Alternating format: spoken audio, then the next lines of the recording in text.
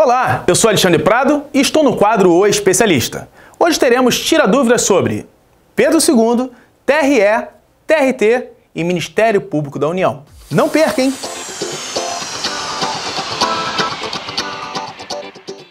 Olá pessoal, tudo bem? Chegamos ao Tira Dúvidas de número 5 do quadro O Especialista.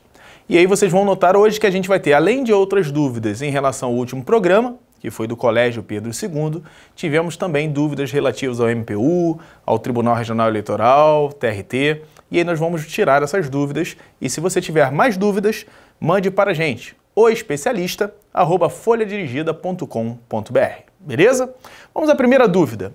Primeira dúvida é do Jefferson Leonardo, a respeito do último programa nosso, de número 5, que falou sobre o Colégio Pedro II. Ele pergunta o seguinte, ó. Alexandre, Assisti ao vídeo divulgado ontem, ontem que ele se refere, no caso, é de terça-feira, né? Porque o programa de hoje da, do Tira Dúvidas é na quinta, a respeito do concurso para o Colégio Pedro II. Porém, fiquei com dúvida em uma informação prestada. Informação. Nos anos 2010, 2013, 2014 e 2015, a banca organizadora foi o próprio Colégio Pedro II. Aí ele afirma: Eu só consegui baixar as provas de 2013 e 2014, cujas bancas são a OACP e IDECAN respectivamente. Gostaria de uma ratificação, ou seja, uma confirmação, ou retificação, ou seja, o conserto, a respeito da informação cedida. Beleza, vamos lá, Jefferson. Eu afirmei para vocês que as últimas provas do Pedro II foram feitas pelo IDECAM. E as últimas provas realmente foram. Só que quando eu boto aqui 2014 e 2015, são vários cargos, então assim, tem muitas provas do, feita pelo Colégio Pedro II. Tem que saber qual foi o cargo relativo que você está se referindo. 2010, 2013, 2014, 2015 foram os anos das provas dessa década. Então, a partir de 2010 até 2015, nós tivemos aí dezenas de concursos para o Colégio Pedro II em relação a vários cargos, tanto de nível médio quanto de nível superior. Então, você afirma de forma correta que, por exemplo, tem questão de prova é, provas realizadas para cargos diferentes. Em 2003, a OACP realizou. E a IDECAM foram as últimas provas. Então, os últimos concursos do Pedro II, ou seja, os últimos de todos os cargos do Pedro II, em 2014 e 2015, foi a banca IDECAM. Tá ok? Presta atenção que eu vou te falar. Existem sites de questões de provas anteriores que você consegue baixar as provas anteriores independentemente de banca. O ideal e o correto é óbvio você procurar a fonte, né, a banca. Mas eles estão cada vez mais dificultando a nossa vida quando busca essas questões. Por quê? As bancas, na verdade, na verdade, após o término da prova, elas estão retirando do ar essa prova anterior. E isso cria uma dificuldade para a gente conseguir buscar. Algumas bancas, inclusive, proíbem expressamente a utilização de suas provas para fins comerciais futuros ou de divulgação restringindo cada vez mais. Se você pegar no site, por exemplo, da Banquesaf, vem lá escrito que é proibida a reprodução total ou parcial do conteúdo da prova. A FCC também tem a mesma linha. Então eles têm, entendem que são informações que não podem ficar sendo divulgadas. Mas, para nossa alegria, existem determinadas instituições que têm essas provas anteriores à nossa disposição para efeito de estudo. Então, aconselho você buscar as questões filtrando pelo instituto, tá ok? Pelo Colégio Pedro II, filtrando por anos quando você quer específico ou por cargo. Tem como você fazer filtros, inclusive por escolaridade. Aí você vai ver que tem várias provas anteriores que servem como referência, tá ok? Independentemente da banca IDECAN e a OACP, a banca Fundação Carlos Chagas é uma banca que é conhecida como banca legalista, letra de lei, assim como o IDECAN aborda. Então você pode pegar da Fundação Carlos Chagas, da FunRio, você pode pegar da própria banca do NCE, da UFRJ. Então existem instituições que são bem parecidas em relação à abordagem de prova. O que você tem que ficar ligado é o seguinte: muito cuidado ao realizar questões de provas anteriores em relação a temas que já estão ultrapassados. Beleza? Então, quando tem uma parte, por exemplo, da matéria de legislação, você tem que pegar aquilo que foi atualizado na legislação. Aí fica a dica.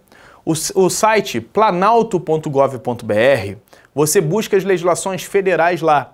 E aí você tem a opção assim, ó, texto compilado. Quando você tem essa opção texto compilado, ele já traz para você as alterações que estão vigentes na lei. Então isso facilita muito o seu estudo, tá ok? Então eu indico e recomendo os sites oficiais para você ter essas informações. A partir do momento que você viu que tem uma legislação que foi atualizada, por exemplo, Lei 8.112, que está dentro do seu conteúdo programático, Lei 8666, que está dentro do seu conteúdo programático, elas foram atualizadas. Então é importante você ter esse texto compilado atualizado. Aí é verdade que nem a prova anterior relativa àquele tema que foi alterado vai servir para você. Então isso é muito importante. Pegue o texto atualizado, de preferência a opção compilado, que já vem certinho, e aí você vai fazendo as questões de provas. Quando você observar que a questão abordou um tema que foi alterado, não só conserta na questão, como já bota o asterisco na legislação, porque muito provavelmente vai cair. Então a dica é o seguinte: quando se faz uma prova que pede legislação, ela tem que estar atualizada. E aquilo que foi alterado recentemente tem grandes chances de cair na sua prova. Beleza? Então fica a dica aí, Jefferson. Obrigado pela participação. Sempre que surgir alguma dúvida ou ficar algum conteúdo ambíguo, pode mandar a dúvida aqui que a gente esclarece. O nosso objetivo é esse. Beleza, Jefferson? Obrigado pela participação. Grande abraço. Próxima dúvida. Juan Chaves pergunta o seguinte, ó. Vocês podem informar quando foi o período de contratação dos aprovados no último concurso do Pedro II? Nos casos de técnicos, eles costumam nomear logo após o resultado final ou chamam aos poucos durante o período de validade? Bom, vamos lá, Juan. A seguinte situação de todo e qualquer órgão público, como funciona? Você tem lá o setor de pessoal, que funciona, no caso do Pedro II, como uma pró-reitoria de gestão de pessoas, que faz a solicitação ao Ministério do Planejamento para as vagas que estão é, a serem providas, né, que estão vazias, ou, ou seja, ocorreu a vacância dos cargos. O Ministério do Planejamento autoriza e aí sim ele dá andamento ao concurso. Quando se faz um concurso público para investidura no cargo público, depende de orçamento para essas contratações. Então a sua dúvida é pertinente e ela funciona assim em diversas outras situações, tá? Não tem diferença entre elas. O que acontece é que às vezes, quando é do Poder Executivo, tem uma regulamentação própria em aumento de vagas, por exemplo, depois que se pede autorização, e do judiciário funciona de forma diferente, mas sempre tem algum setor acima que trata do orçamento para fazer autorização. O setor de pessoal sempre quer contratar de imediato, sempre, porque o serviço público sempre tem falta de gente. Qualquer organização, instituição sempre vai ter. Por quê? O quadro começa de uma forma e ao longo do tempo as pessoas vão pedindo exoneração, as pessoas vão se aposentando, as pessoas vão passando em outro concurso, as pessoas vão gerando vacância dos seus cargos.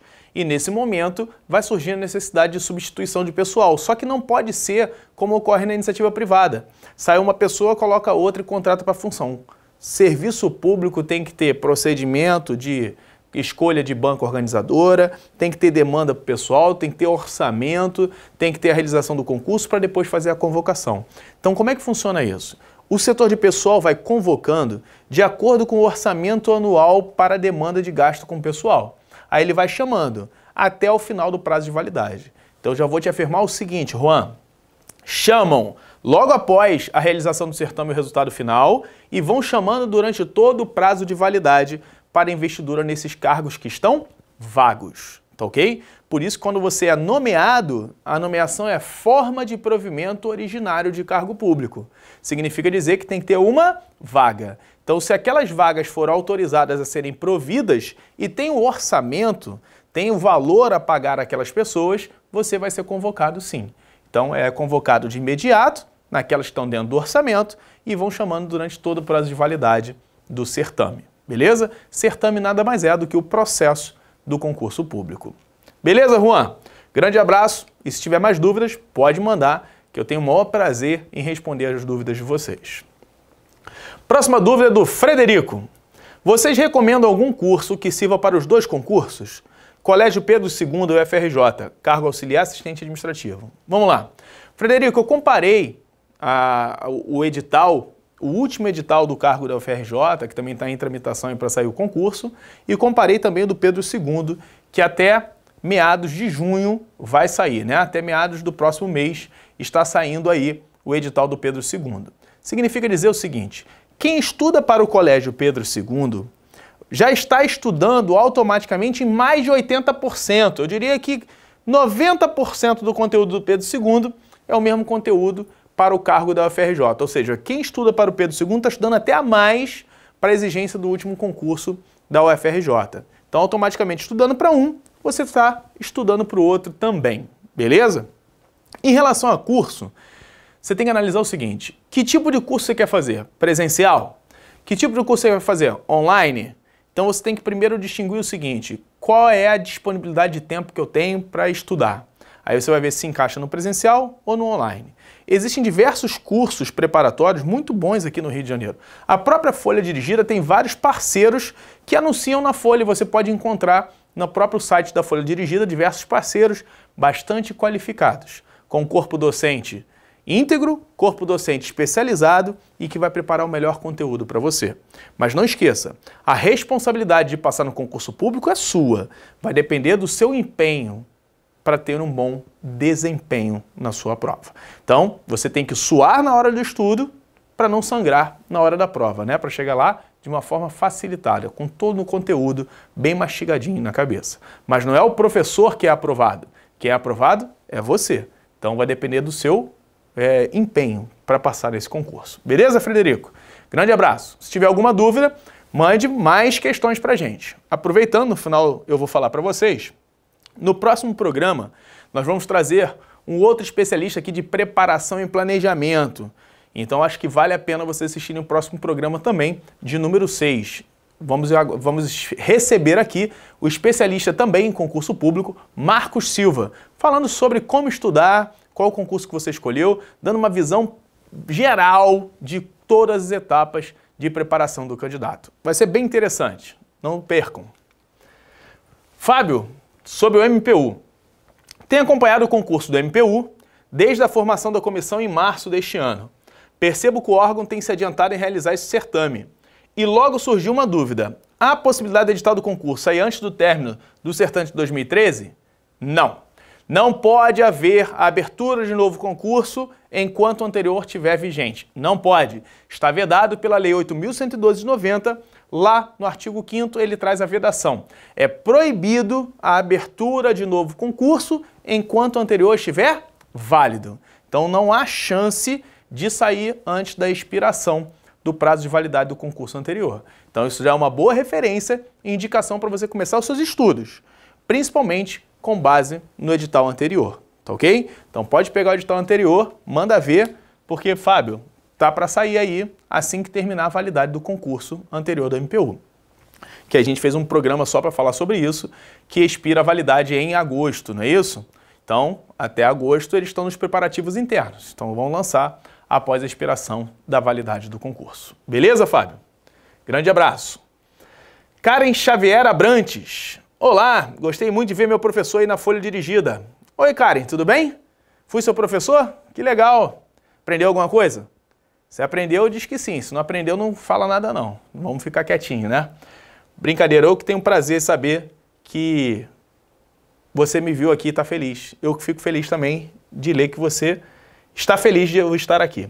Vou retomar os estudos agora e tenho dúvidas se é possível cobrar na arquivologia e administração de recursos materiais relativo ao TRE e ao TRT. Bom, quem gosta de cobrar essas matérias de arquivologia e administração de recursos materiais é a banca CESP-UNB.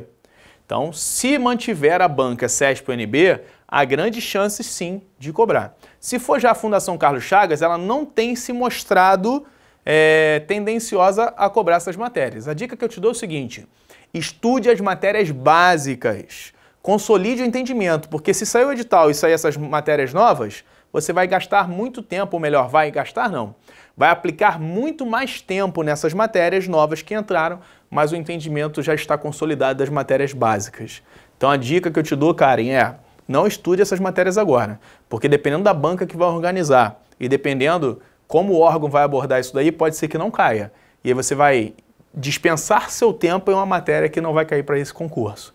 Então, pegue o conhecimento básico, consolide e depois da saída do edital você consegue estudar arquivologia e recursos materiais.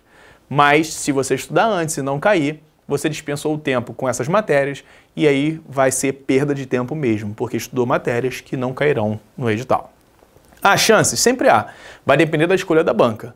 Infelizmente, a gente não tem como antecipar essa escolha da banca, porque se tiver procedimento licitatório, aí vai depender do tipo de licitação que foi adotada. Se é da melhor técnica, se é do menor preço, melhor técnica e preço, então isso envolve uma série de fatores. Se for dispensa de licitação, eles vão escolher a banca já previamente, porque eles têm a intenção de fazer naquele formato. Por exemplo, eles podem dispensar. Né? O MPU já dispensou a contratação da banca anteriormente, do processo licitatório para a contratação da banca, foi a CESP. Não sei se o TRE vai fazer dessa forma, não sei se o TRT vai fazer. Fica acompanhando na folha dirigida, que assim que a gente tiver uma notícia, te informa em primeira mão, tá bom? Grande abraço, Karen. Tema do nosso próximo programa: visão completa do ciclo de estudos. Olha só que legal. Você quando estuda, você tem que fazer o seu planejamento, você tem que pegar uma boa base teórica, tem que praticar exercícios para depois fazer simulados e você tem que fazer todo o acompanhamento. No próximo programa, nós vamos receber o professor Marcos Silva e o especialista em planejamento de estudos que vai dar dicas muito importantes para vocês.